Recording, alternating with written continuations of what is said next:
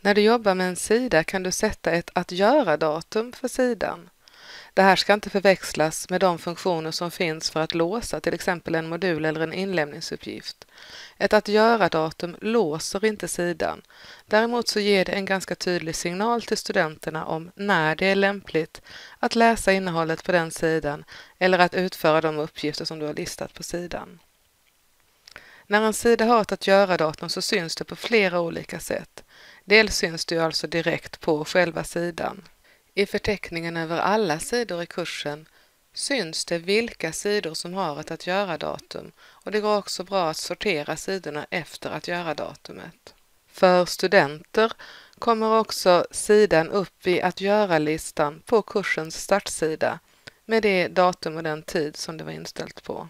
Dessutom syns det både för studenter och för lärare i den automatiskt genererade kurssummeringen. Och slutligen så syns det i kursens kalender. Att sättet att göra datum för en sida är väldigt enkelt. När du är inne och redigerar en sida så har du allra längst ner möjlighet att bocka i rutan Lägg till studenter vad göra. Och här använder du kalenderfunktionen för att lägga till ett datum och en tidpunkt. Och sen är det bara att spara.